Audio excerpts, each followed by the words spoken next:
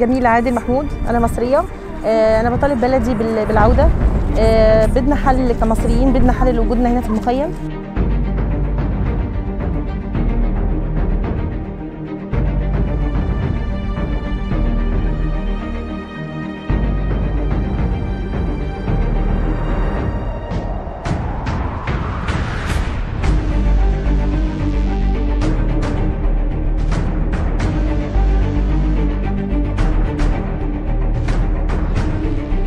هبة حسن عباس من العراق عمري 21 سنة.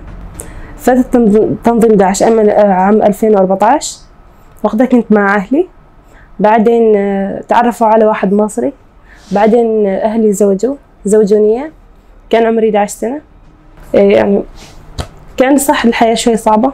كان يعني كل شيء يعني كان يعني يعني كنا مثلا بالسجن يعني.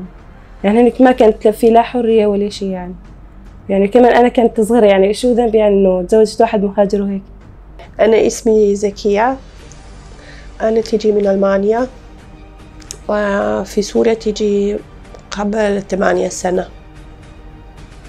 جلست تعيش ثلاثة سنة بعدين خرب وتيجي هون في مخيم بالمخيم أنا خمسة سنة. ما أحب ولا شيء أصلا. أنا زواج غلط رجل. وهو جابت لي هو شغل بالتركيا هو قال آه تيجي بالهوليداي في تركيا. أنا جايت مع بنات. قبل ثمانية سنة من هاد وقت ما شفت أمي ما شفت ولا أحد من الأهل تجي من سوريا وما رجعت أبدا. إيه أنا قالت بس أسكت خلاص. هو غير هو غير في ألمانيا. أخلاق غير وبعدين بالسوريا تيجي غير. يعني بس اسكت. نسوان مرة ما في حق ولا شيء ولا يحكي ولا شيء. حتى أنت تعيش هيك.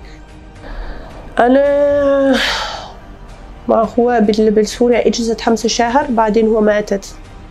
آه طيارة. بعدين إيه لازم أنت تعيش هيك.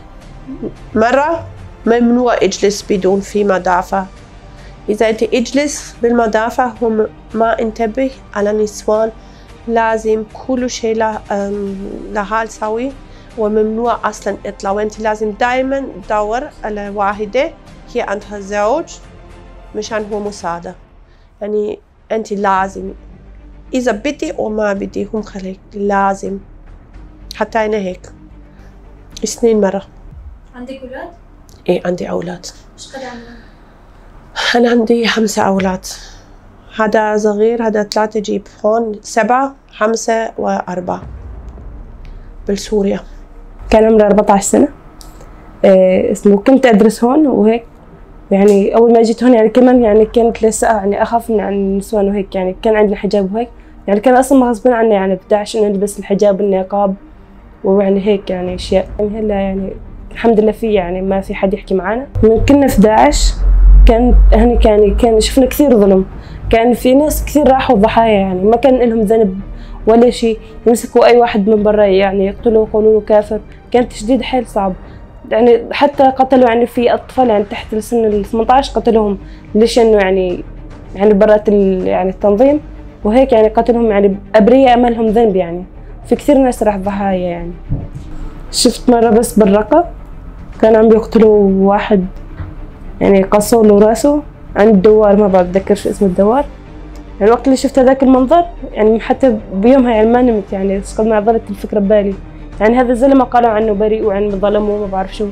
إيه. يعني حلو كثير مواقف يعني شفنا كمان يعني يسموهم اصدارات وما بعرف شو فيديوهات. وما عندهم حتى حقوق الإنسان. شفت فرق كبير يعني عم تقول ليش مثل الحجاب وهيك.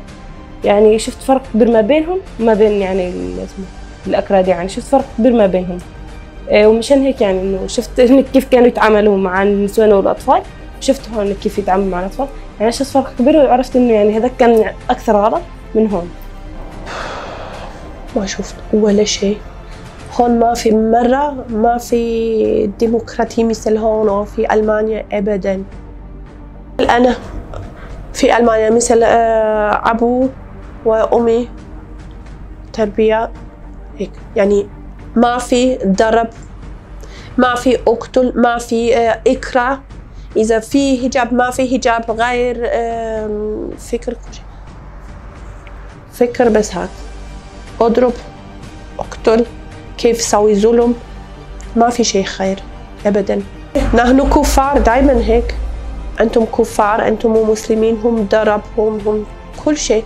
حتى بنات. بنات أنا بنتي هاي تسع سنة شو يوجد؟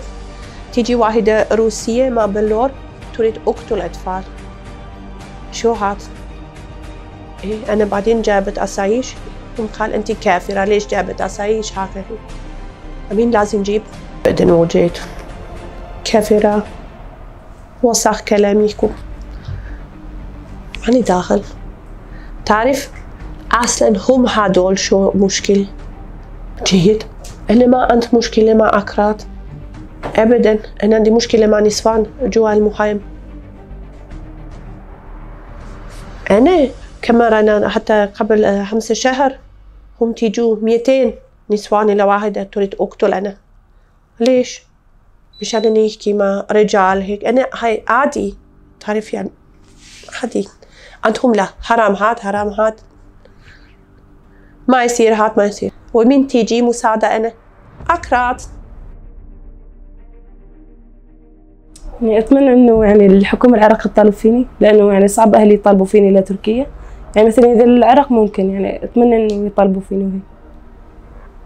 أصلا إيه في ألمانيا في بلدي. أنا سويت كبير غلط. تسمع كلام زوجي؟ أنا بدي بس أطلع من هون. وبدي حياتي مثل قبل.